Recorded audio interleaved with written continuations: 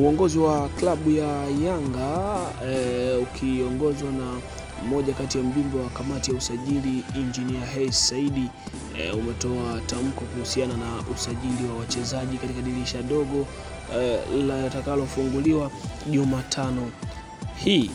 E, Engineer Hersi amesema hawatasajili mchezaji yoyote ambaye atakuwa nje ya taarifa ya mwalimu Cedric Kaze, hivyo wanayanga waondoe shaka, kwani usajili utakaofanywa ni usajili wa kina na usajili makini kabisa, ili kuhakikisha kikosi hicho kinakuwa bora na kinakuwa hatari pindi wanapokutana na wapinzani. Hes pamoja na katibu wa klabu ya Yanga wamezungumza hayo wakati wakielekea uh, Singida kwenye mchezo wao wa kirafiki dhidi ya Singida United ambao utapigwa hii leo. Uh, lengo kubwa ni kujiweka Eh, sawa kwa ajili ya mchezo wa ligi kuu soka Tanzania bara eh, pale eh, jijini Arusha Disemba eh, 19 dhidi ya Dodoma eh, Jiji. Hersi amesema eh, kwa sasa kwenye nafasi ya usajili watafanya kwa umakini na watazingatia taarifa ya mwalimu ili kuepusha kusajili watu wengi ambao wanapokuja kwenye timu wanashindwa kusaidia timu ama wakati mwingine wana uh, ondoka kabla ya mkataba yao kumalizika, hivyo kutia hasara ya kuvunja mikataba yao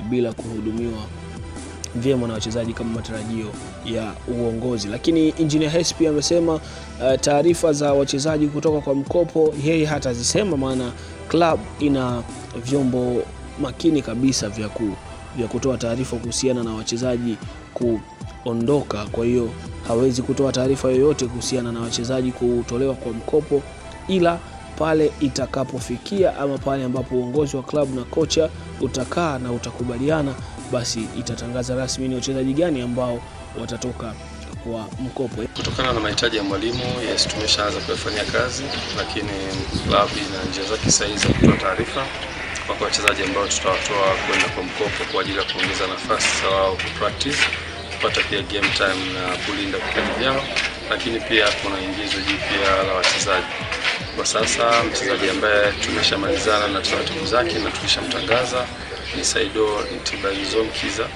ambaye kesho, Mungu akijalia, atakuwepo kwenye uwanja wetu hapa Singida kucheza mechi yake ya kwanza kirafiki, lakini Mungu akijalia, tarehe 19 atakuwa Arusha kwa ajili ya mechi ya ligi dhidi ya Dodoma Jiji. Lakini pia kuna wachezaji wengine ambao wapo katika mpango kamili, na tutakapokuwa tumemaliza taratibu zote, basi watu wa media mtakuwa kwanza kujua. Lakini sisi kwa falsafa yetu ya klabu ya wananchi tukaona tuje kuwapa fursa nao wananchi waliona timu yao, timu mpya kabisa, timu yenye ushindani, timu ambayo mpaka sasa inaongoza ligi bila kufungwa mechi mchezo hata mmoja. Kwa hiyo imekuwa ni hamasa, watu wananchi kokote sehemu mbalimbali za nchi wanataka kuona timu yao, basi na sisi tumeitikia wito huo. Kwa hiyo tutacheza mechi ya kirafiki na timu ya Singida United siku ya kesho majira ya saa kumi.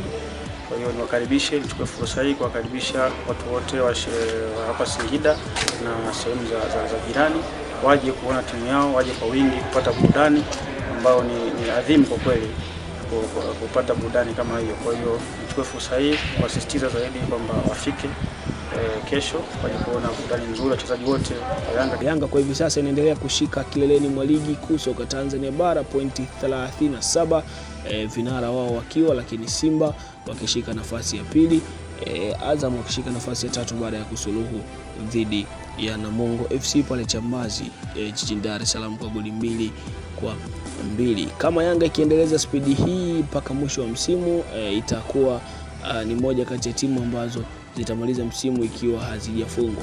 Malengo ya klabu ya Yanga na hata mashabiki ukisikia wanachozungumza ni kumaliza msimu akiwa hajafungwa ili kuweza kuandika historia, na Yanga wakifanikiwa kuchukua ubingwa huu msimu huu itakuwa ni taji lao la 28 la ligi kuu soka Tanzania bara. Mpaka hivi sasa hakuna klabu inayoikaribia ama inayoifikia uh, Yanga kwa mataji ya ubingwa. Imeshachukua ubingwa mara 27 na inaendeleza juhudi uh, juhudi za kuendelea kuchukua ubingwa mara nyingi ili kuwa vinara wa ligi kuu soka Tanzania bara. Hizo ni taarifa kuhusiana na wachezaji wanaotolewa kwa mkopo katika klabu ya Yanga na wale ambao watasajiliwa kutoka kwa mjumbe ama kiongozi wa kamati ya usajili Engineer Hersi Saidi, lakini pia katibu mkuu wa klabu hiyo.